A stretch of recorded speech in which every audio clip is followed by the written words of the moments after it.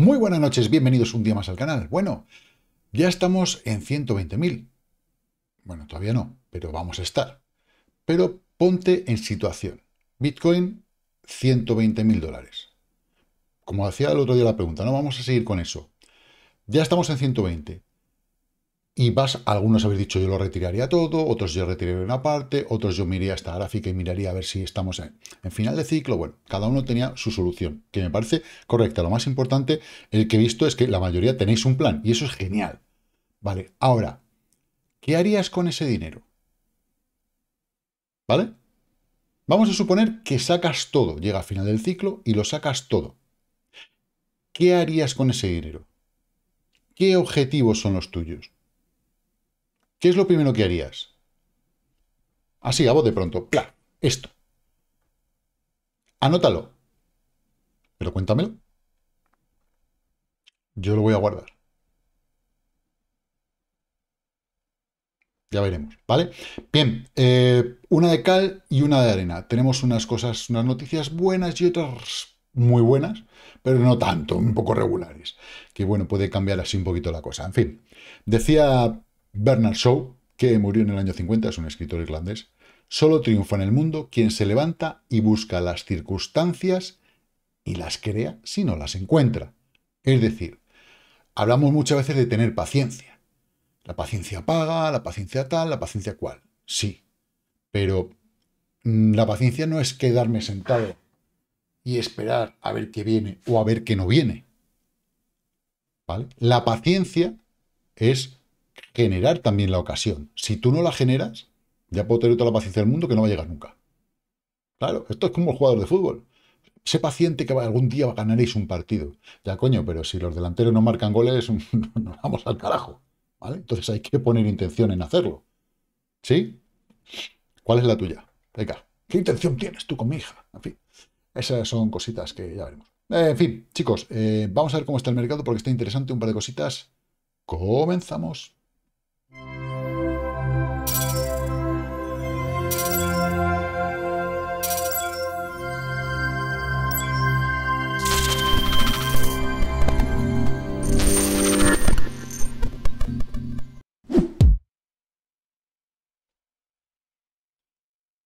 Bueno, bueno, bueno, bueno, bueno, que desaparezco yo por aquí. Ya aparezco. en fin, noticia buena, pero con un ojo cuidado, ¿vale? Con un ojito cuidado. Interés abierto de futuros de Bitcoin del CME alcanza el récord de 6.800 millones. Dios mío, un montón, un montón de pasta. Entonces, cuidado porque esto ya sabéis, es un techo y muchas veces lo que hace es empezar a liquidar a gente a mansalva. De hecho, de hecho, antes de ver, esta es la de arena, antes de ver la de cal, tenemos que el criptomercado ha experimentado una fuerte sacudida de 315 millones líquidos en 48 horas. Dice, ojo, eh, que pone, experimenta una fuerte sacudida. El día que experimente una fuerte sacudida yo no sé qué va a poner, porque de sacudida no ha habido nada. Pero bueno, en fin, eh, esto es. Ahora, noticia buena, noticia excelente, noticia genial, que sigue soportándonos y haciendo que todo lo que entra se compre, como me decía, eh, bueno, ahora lo vamos a ver, una petición que tengo, PLAF. ETFs de Bitcoin registraron entradas netas de 2.200 millones en la semana. El ETF BlackRock recibió la mayor parte de las entradas. 1.600, eh, cuidado. 1.600 kilos de 2.200. Para todos los demás, 600 kilos. Para este, 1.600. ¡Ay! ¿Cómo está la perra? Madre mía, tremendo. En fin, el mercado está así, así está el mercado. Vamos a Bitcoin y me, vamos a ir mejor. En este me gusta más esta gráfica porque lo tenemos ahí en nuestro canal, nuestras cositas. Vamos a ponernos en cuatro horas y me decía, y lo voy a poner porque tengo una petición que me habéis hecho, pero me decía Fernando Jiménez Castellanos, que no, ¿cómo ves la gráfica semanal? A mí me sale que si cierres por encima de 51.680, puede dar alas para buscar los 59, 60.000, ¿vale? El RSI está bastante sobrecomprado, pero claro, es que todo, todo lo que se vende, se compra. Y esa es la tesitura en la que estamos. Esto no quiere decir, que si oís ruidos raros no son pedos, es la silla que hace ruido, ¿vale? Eh, esto no quiere decir que, eh, evidentemente, mm, vayamos a, podamos coger esas alas. Es complicado todavía pensar ahora mismo en irnos a los 60, uff, eh, con la pedazo de subida que hemos pegado aquí, ¿vale? Que hemos tenido este retroceso del 20, está, eso, es, eso es bueno, eso ha sido muy bueno porque nos ha dado alas para el siguiente toque. Sí, podríamos ir todavía un poquito más arriba, zona de 53 eh, y medio, ¿vale? De momento es la zona que yo veo así más, más, y el siguiente pivote lo tenemos ya en la zona de 59.2, 59.3, ¿vale? Que es este balconcito que tenemos aquí, este pivotito que tenemos acá. Podría ser, podría ser, claro que sí, porque podría ser, pero a mí me da que, habéis visto el, tipo de interés abierto que hay en el futuro del CME, es elevadísimo, es tremendo, es brutal lo que hay. Eh, cuando hay tanta gente así, tiende a meter un palo. Mercado, no es solamente el mercado, es que son los mercados, son los operadores, es mucha gente ahí que, ojo, eh, hay muchas comisiones, ¿vale? En ese intercambio, en un momento dado. El tema de las liquidaciones no solamente son liquidaciones, son stops que saltan, ¿vale? Ahí, ahí entra todo. Em, y claro, ten en cuenta que cada stop que salta es una comisión para el intermediario, para el broker, para el exchange. Yo no digo nada, ¿vale? Luego ya cada uno que se lo tome como, como crea conveniente. Pero, ¿un salto hacia esa zona es posible? Sí, claro, evidentemente. Pero ahora inmediatamente mm, yo lo dudo muchísimo. Tener en cuenta que vamos a hacer una medición, que esta medición sí es, es guay, y es de este retroceso, ¿cuál era el objetivo? ¡Tachan! ¿Vale? Ahí lo tenemos.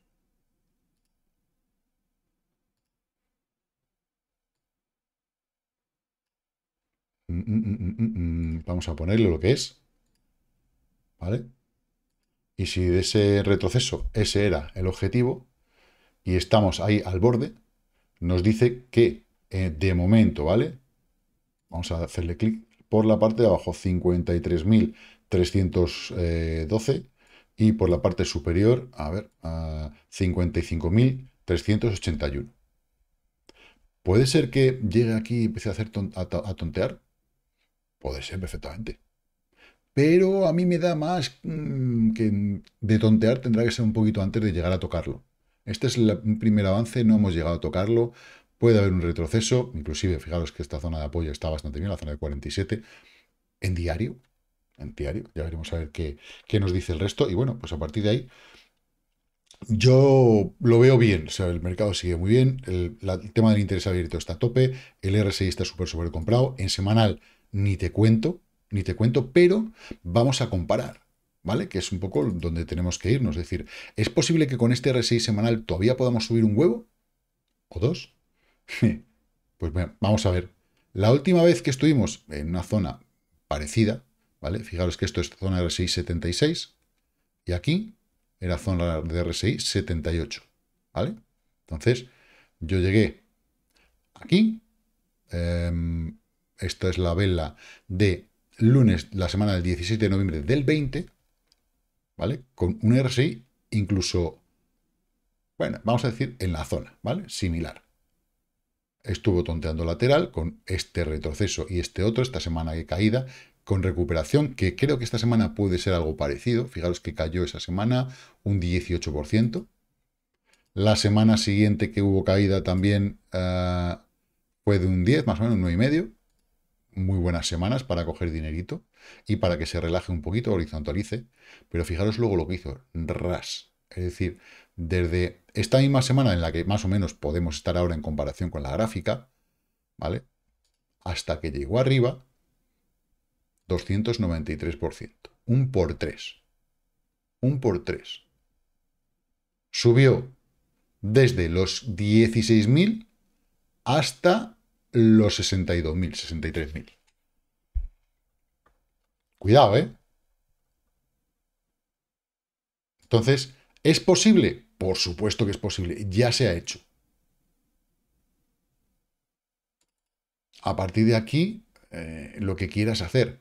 Ahora, creo que mm, eso, estas dos semanitas que hemos visto aquí tontas, una del 18%, otra del 10%, ¿vale? Que cae y sube, cae y sube para dejarlo un poquito horizontal. ¿Vale? Eso que el RSI aquí arriba, aquí estaba más alto que donde estábamos nosotros, pero bueno, esto es poquita cosa, ¿vale? Creo que es posible, claro. ¿Podemos tener semanas de este tipo? Claro. ¿Habrá que intentar aprovecharlas? Por supuesto. O sea que tenemos que estar con la escopeta cargada. Y para eso tienes que tener la liquidez que decimos siempre. ¿Vale? Así que, ¿pueden pasar esas cosas? Sí. Sí. Pero tenemos que estar preparados porque podemos tener ese retroceso. Pum, pam, y luego ir para arriba. Ya veremos a ver cómo quiere decir. El halving no queda nada. Cada vez queda menos. Darnos una cuenta atrás muy buena. Dos meses. En fin, eh, bien, bien, bien, muy bien, muy bien. De momento, soporte para Bitcoin. Para mí, soporte principal lo tengo en semanal, 44.000. En diario, 47.000. ¿Vale? Aquí. Ya está. Resistencia. Estamos ya en resistencia. O sea que... Qué maldad. Pero cada vez que se encuentra con la resistencia, lateralizo. Me encuentro con la resistencia, nuevo máximo, retrocedo. Pepinazo importante, porque fijaros que hemos subido un 36,86% mm, desde esta corrección del 20, de la corrección de los ETFs. Y hemos subido un 37% prácticamente. Cuidado, ¿eh? Ojo. Entonces, aunque tengamos algún retroceso que va a ser temporal, va a durar X. Hostia, la vuelta es buena, ¿eh? El premio es bueno. Si yo bajo un 20 hasta aquí y yo recupero hasta ese mismo 20, es un 27%, ya no es un 20%. Por eso, donde más pasta se gasta, se gana, es en los retrocesos. Ahora bien, una cosa muy importante a tener en cuenta en diario, súper importante y que se tiene que resolver mañana. Si no se resuelve mañana, chungo. ¿Veis cómo está cayendo el volumen? Pero claro, esto era miércoles, jueves, viernes, sábado, domingo. Mañana esto tiene que ir por lo menos a, niveles del jueves. A niveles del viernes no me vale. Poco. Pues entonces, lo que a mí me indica es que nos podemos ir. Por eso digo que esta semana puede ser una semana que haya una caída con una recuperación. O caída y caída, yo qué sé. Eso ya, como lo vaya a hacer el mercado, yo no lo sé. No tengo ni idea. Pero desde donde estamos, si cayésemos a los 47, sería un 9%. Muy rico muy rico. Y si no, pues lo que está en Hall seguirá ganando valor, que es lo importante. En fin, eh, ¿qué tenemos en el total market? 1.90, tremendo, tremendoski. Y la dominancia de Bitcoin que se ha relajado en el fin de semana bastante. Fijaros en el día de hoy cómo se ha relajado un montón. Eso quiere decir que ha habido fin de semana, sábado y dominguete, día de altcoins. Sí, bueno, pues algo, algo sí que nos han dado. Por supuesto que sí. Por cierto, que luego me dices que, que te has saltado el dólar index, que no me lo salto. Lo que pasa es que eh, tampoco está la cosa como para estar todo el rato viendo el dólar index. Es que da igual. O sea, está haciendo lo que tiene que hacer. No, no ha habido cambios importantes. Pasó la resistencia, ¿vale? Hizo un pullback a esta zona de soporte, sigue rebotando, ahora viene a volver a probar la misma zona. Ya está, no hay más. Objetivo, ya lo llevamos de hace tiempo. Lo tenemos en 105. Ese es el primer objetivo que tiene. Una vez que rompa 105, cuidado porque se pone interesante y ya los cambios pues, van a ser otros. Eh, Altcoins, bueno, sí, en la zona de soporte, rebotando hoy. Otro pellizquito para la saca, muy bien. Vamos a la parte más negativa, que, bueno, hay algo, no es mucho, pero bueno. Tenemos Nord, tenemos DAG HDX, tacatas, en soporte, ojo. Ocean Protocol, un 397, la volatilidad que ha bajado, SHA, BGB, KLV, TIR, un 219 y ya está, o sea, tampoco hay nada. Hasta los cortos de Bitcoin vuelven a intentar acercarse muy cerca de la zona de mínimos históricos. Así que poca chicha. Eh, ¿Qué tenemos en la parte positiva? Pues bueno, IOTX.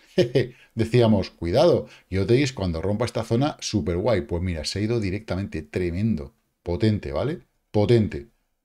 Me encanta. BLZ 21%, muy bien, yo sé de uno que estará súper contento.